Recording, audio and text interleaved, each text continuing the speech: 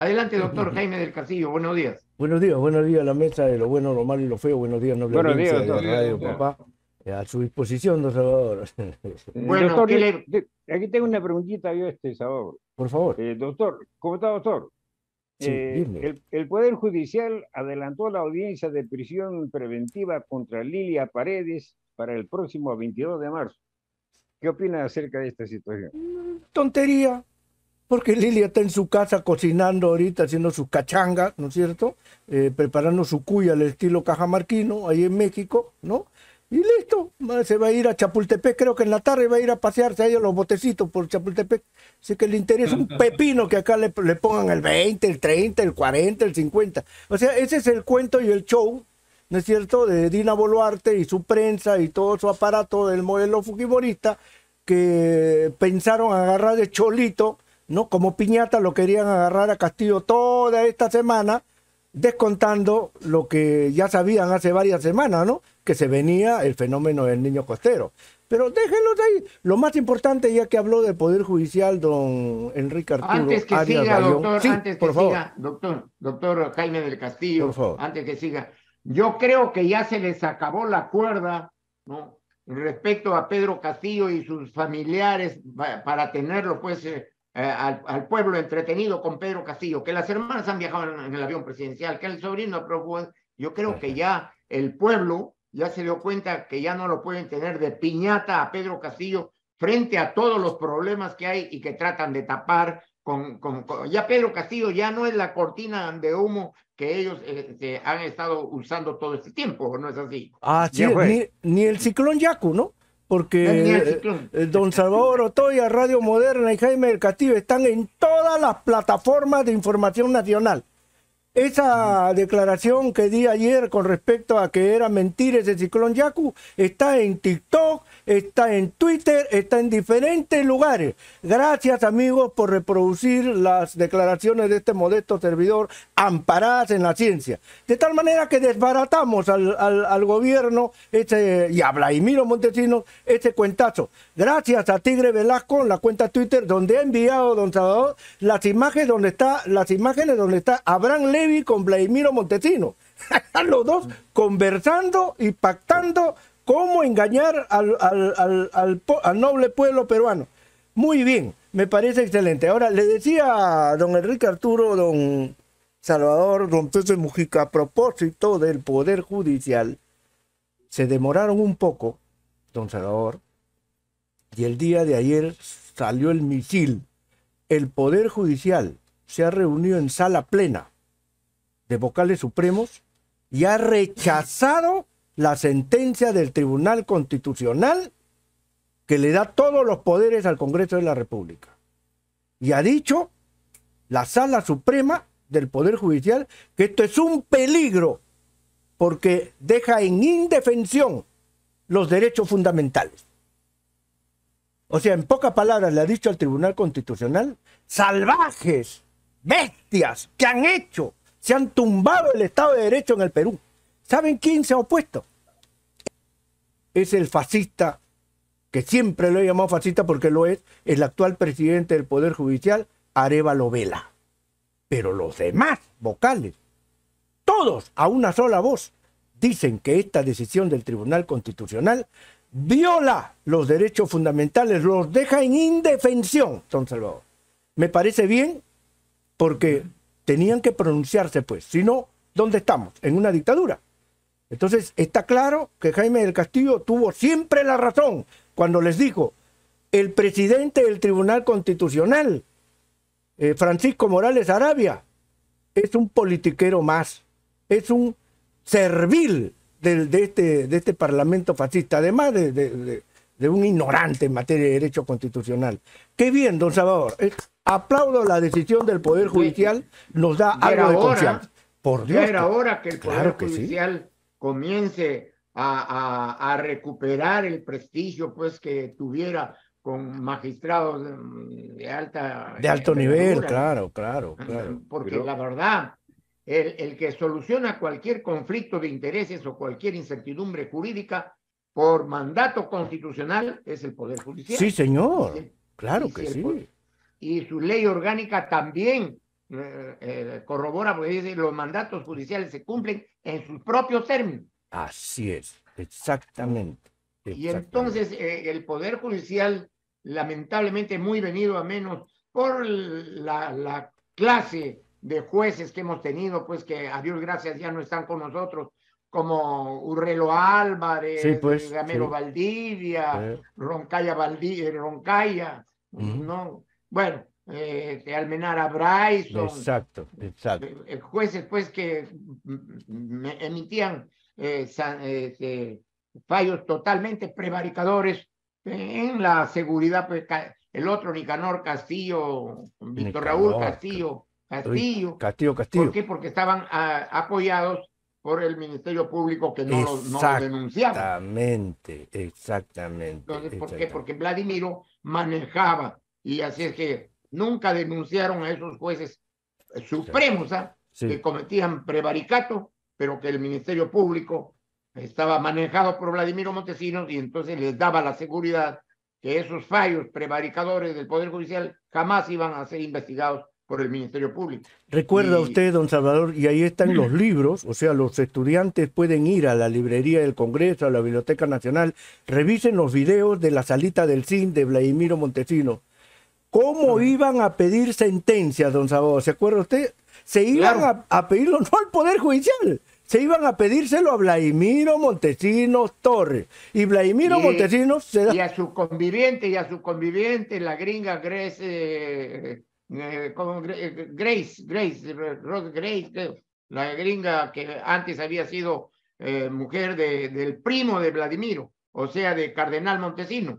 Ah, eh, eh, sí, sí, claro. Entonces iban donde Montesinos todavía le decía, ¿y cómo quiere la sentencia? Igual que eh, César y nosotros Pariache, ¿cómo la quieres, hijito? La quiero así, la quiero así. Ah, ya quieres con manzanita, con pera, con papaya, no hay problema. Levantaba el teléfono, aló, Urrelo Álvarez, aló, Castillo, aló, tal. Ah, sácame una sentencia para mi compadre, ¿ah? expediente número tal, acá lo tengo en la mano, y para mañana, por favor, la sentencia. ¿Recuerda usted? el señor Romero se iba a visitar a Vladimiro Montesinos, le decía, quiero un, quiero eh, un proyectito de ley, pues, porque no quiero pagar impuestos, estoy pagando demasiado. Así, ah, ya no hay problema, ¿cómo lo quieres? Ah? Quiero pagar solamente 5%, ah, ya no hay problema. Y llamaba a los congresistas, o sea, Montesinos manejaba el Perú desde la salita del CIN. Él era el legislador, él era el juez y él era el que manejaba el Ejecutivo y las Fuerzas Armadas y la Policía Nacional. Igualito quiere hacer este modelo de Dina Boluarte y William Zapata, Don Salvador. Igualito. Entonces, muy bien que hay personas ilustradas en esta radio. Acá no hay loros parlanchines que, que hablan tonterías frente a los micros, no hay gente que tiene mucha experiencia y sabe de lo que se está tratando en el país. Efectivamente, como dice usted, don Salvador, el gobierno ya no sabe qué pretexto poner. Lo de Castillo, para empezar, ¿quién está viendo la televisión ahora, don Salvador? si todos están tratando de salvar sus cositas, ¿no es cierto? Todos están tratando. Corriendo del hueco, todos están corriendo del hueco. Sí, se han quedado sin baño, se han quedado sin sala, sin comedor, se han quedado sin auto, se han quedado sin nada. No tienen nada. Entonces, y el gobierno, lo primero que ha hecho Dina Bolote, vamos a comprar helicópteros. helicópteros, imagínese para qué. 300 vuelos hizo en los helicópteros por Juliaca, recuerda usted, don Salvador, para lanzar bombas contra nuestro pueblo y no ha hecho un solo vuelo al norte del Perú. Imagínese usted, para que vean lo ignorante. Y termino con esto, en esta parte. La derecha económica en este momento está llorando sangre, don Salvador. Porque sea con el paro nacional, o sea con los huaicos, la economía ya está parada y no se va a recuperar hasta abril o mayo, don Salvador. Hasta abril o mayo. 22 años de crecimiento constante ya cayeron ya en uno punto y pico. Exactamente, don Salvador. En este momento la derecha económica llora sangre porque no va a recuperarse y son pérdidas, pérdidas y pérdidas. En este momento va a tener, en este momento va a tener que despedir trabajadores. Y en este momento va a tener que cancelar envíos. Y en este momento ¿Cómo se, llamaba el Inca que lloraba sangre, doctor? Creo que era este. Yaguarhuaca. Yaguarhuaca. Así es su nombre, ¿no? Yaguarhuaca. Yaguarhuaca, claro. Es la derecha. exactamente, la derecha es un jaguar huaca, ya tenemos el titular del programa del día de hoy. Para adelante, don Salvador. no, le preguntaba por eso, y efectivamente, pues el, Perú después de 22 años ha caído pues uno punto y pico, ¿no? Y eso, como bien dice, es que lamentablemente eh, la, la, derecha pues bruta y achorada no, no ve más allá como en otros países donde se solidariza con sus trabajadores. Y estamos viendo, por ejemplo, en Suecia, la Volvo, como para que sus trabajadores tengan más tiempo con sus familiares, con sus hijos, ha reducido de ocho a seis horas la, jornada laboral para que la familia esté más unida. Acá no, acá le quieren aumentar a, a 20 horas diarias, que, que, descanse cuatro y que esté tuberculoso, no le interese, no, le interesa.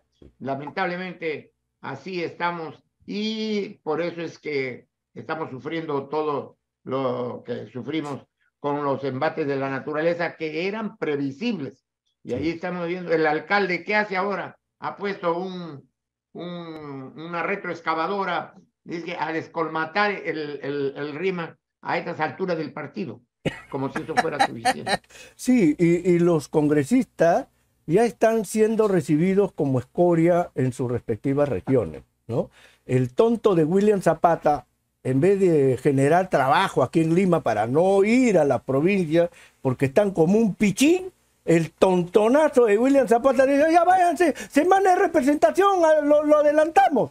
Y la han recibido a la, Limachi en Tacna, don Salvador, a pedradas. Y le han dicho su vida. A Takuri, en Ayacucho, lo han recibido a huevazo limpio. Y a diferentes congresistas los están en este momento escrachando.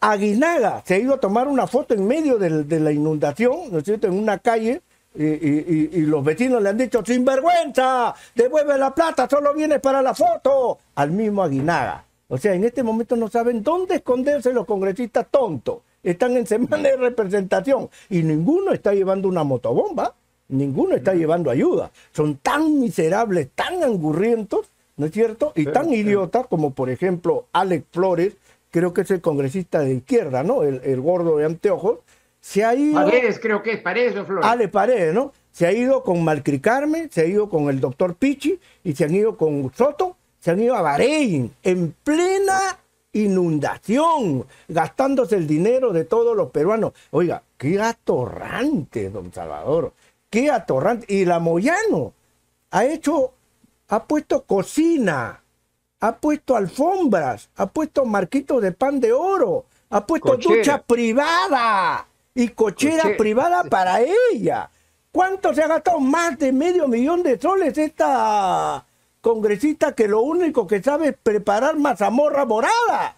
Tiene maestría y doctorado en hacer arroz con leche y en mover el chocolate, bate que te bate. Lo único que sabe hacer. Mueve el chocolate, bate que... Ah, picarones. Sí, sus picarones, eso sí sabe cómo ensartar los picarones. Es lo único que sabe en la vida.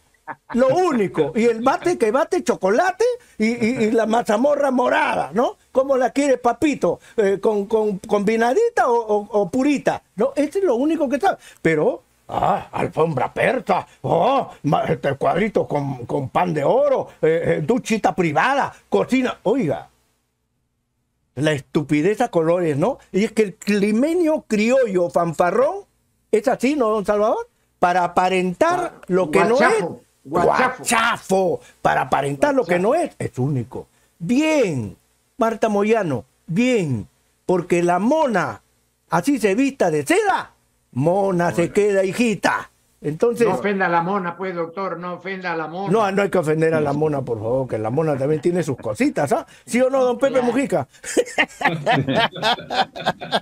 No, eh, pero con todo desparpajo, con todo desparpajo dice, no, eh, esto no me lo voy a llevar, esto se queda acá, este, este, este o sea, del Congreso.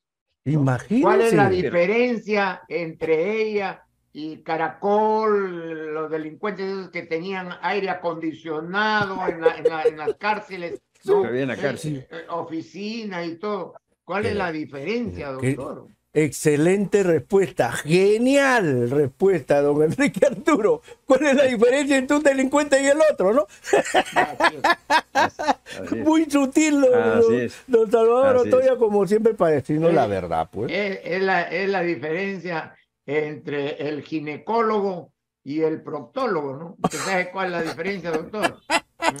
El olor del dedo nomás, el olor del dedo. y el dolor ajeno. El ginecólogo, el ginecólogo, la mujer, el, el bueno. sí, pues dejémoslo ahí, dejémoslo ahí. El, eh, dolor, el, el, el olor y el dolor. Ya, así es, ¿no? Entonces, este, qué guachafo, don Salvador. Ese es el cuadro de nuestro país. La ministra de Salud. Viajando a Estados Unidos se ha ido a, Nueva York, a los United, a pasearse. Qué pena, qué ridículo, don Salvador. qué ridículo. Pues. Nueve en punto, gracias, doctor. Gracias a ustedes, caballeros.